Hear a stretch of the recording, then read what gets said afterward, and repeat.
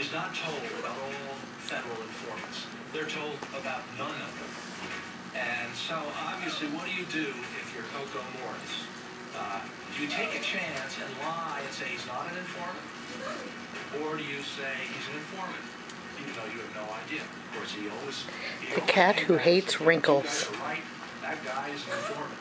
He'd get his $5,000 and boom, the guy would be murdered. There was a garage where they took their victims, and uh, they had a firing range down there. And they would stand the guy up, they well, they take him in there and prop him up against the wall. Blown away, he fall on the carpet, they roll him up in the carpet and take him out. That's the only way that cunning organizations can exist, you know, is that people observe this code of silence. You know, you don't talk or if you do talk, you need the most severe penalty.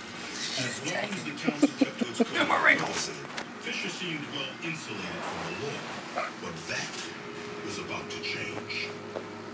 Nikki saying, Nikki saying, Nikki saying. He was like a brother. He, he was family. I mean, so this devastated all of us, you know, him being a, the rat that he became. American Gangster continues.